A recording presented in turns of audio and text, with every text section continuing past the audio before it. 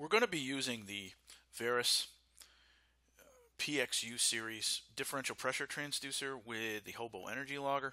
This device outputs an analog signal uh, that can be configured in the field for either 4 to 20 milliamps, 0 to 5 volts, or 0 to 10.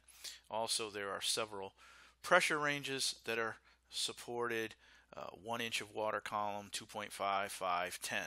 So the important thing is that you set up the sensor the for your application before you set up the logger for use with the with the sensor.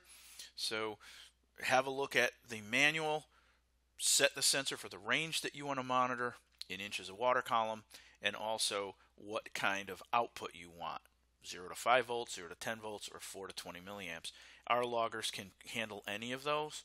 Um, this particular screenshot, we're going to talk about the energy logger and the FSFS CVIA analog module. So we have our logger connected to our serial USB to serial adapter. Um, have a look through the documentation to make sure you have the driver loaded correctly uh, before you try to do this. We have it all set up in HoboWare. This is our free version of HoboWare. We're going to click on the first icon, launch logger or launch device. We can see it's connected. So we're going to click on OK to get into the launch screen and configure the logger for use with the PXU. So we have one SFSCVIA module plugged in. You can see that there's two channels. One says voltage, one says current. They both can do either voltage or current. This is just the way they come from the factory. So we want to configure the first channel. Uh, we do not have anything connected to the second channel, so we're going to leave that unchecked. But in order to configure this for this PXU, we're going to click on the little uh, yellow box here, and that's going to take us into the module configuration. So we are going to set up this PXU for 4 to 20 milliamps, uh, 4 to 20 milliamp output. So we can set all these configuration parameters manually, or we can use the pre-programmed configurations that come with HoboWare. So we're going to do that.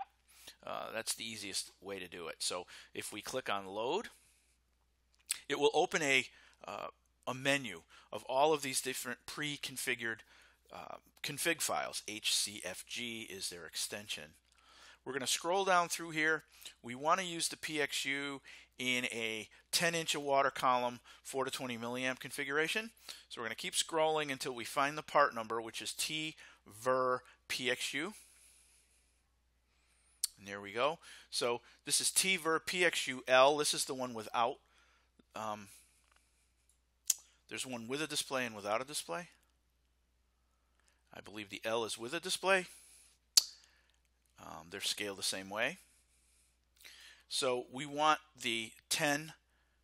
Again, C stands for current, and then the number after that stands for the scaling factor that we're using. So we're going to scroll down here until we find the one for 10 inches of water column, which is right here. So TVER PXUL C10.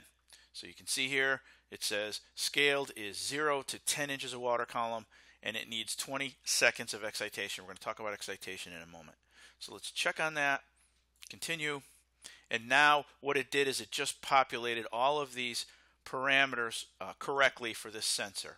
So our sensor name will be differential pressure. The input is current. The scaled values are inches of water column. The output of the sensor, we configured it 4 to 20 milliamps equals 0 to 10 inches of water column. Again, you have to make sure that the sensor is configured for this because you have to do a configuration in that sensor or in that differential pressure device um, before you set this up. If these don't match, it won't work correctly. And again, that's all written in the manual. So once we're happy with this configuration, we can click on configure and it's sent to that module. One thing to keep in mind, you see excitation power is a 20 second warm up. If we click on set excitation power, you can see how that was configured. This sensor needs 20 minutes of 20 seconds of power before it starts outputting a stable measurement. So you cannot log any faster than um, every 20 seconds. The reason we're selecting warm up time is it saves battery power on the logger. This particular logger can also be AC powered, so you could turn it on continuously, or if it's a short deployment, you can turn it on continuously also. Keep in mind if you do use warm up with this particular device that we have here, it has an LCD display on it. So that LCD will be blank until 20 seconds before your logging interval comes. Then it will power up, stabilize, take a measurement, and turn off again. So if you want this to be illuminated all the time, you're going to have to use continuous power. If you need to leave this out there for extended periods of time, you should probably get the AC adapter for this logger. Click on OK, and then when we click on Configure, the configuration is sent to that module, and it stays in the module until the module is reconfigured. So even if you remove the, the, module from this logger and put it in a different um, logger, that configuration is, is um, retained in that module.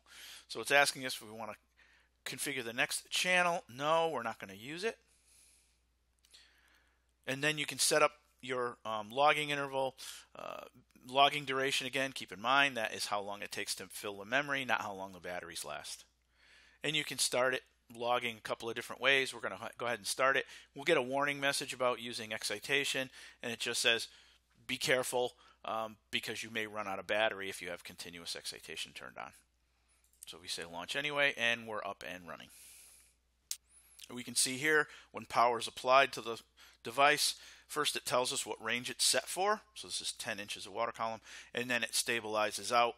Um, this needs to be, there's a zeroing function in the sensor, but basically this is the way it looks when it's powered.